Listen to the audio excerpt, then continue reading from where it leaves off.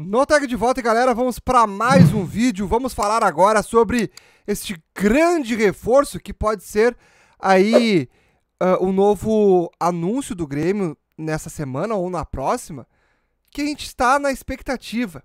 E o nome da vez é dele, Rames Rodrigues. Vamos falar sobre essa possibilidade que pode acontecer no nosso Imortal. Foi confirmado hoje que Rames Rodrigues realmente entrou na mira do Grêmio. Mas não só do Grêmio. Botafogo também está na briga para ter Rames. Por quê? Rames Rodrigues, uh, hoje saiu uma, uma informação que ele deve rescindir com o São Paulo. Não deu certo por lá. É uma, uma situação que está bem complicada. E ele pode estar procurando um novo rumo. E o, o novo rumo pode ser aqui no Brasil mesmo. E o Grêmio já sinalizou, já está com o alerta ligado para Rames Rodrigues.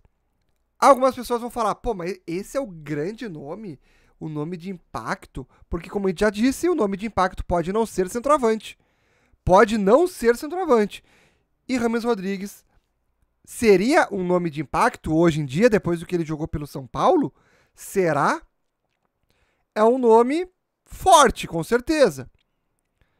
Mas eu acho que não seria aquele grande nome que a gente estava esperando.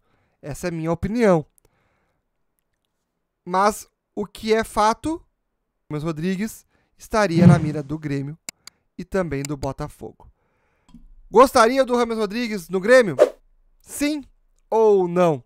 O que vocês acham?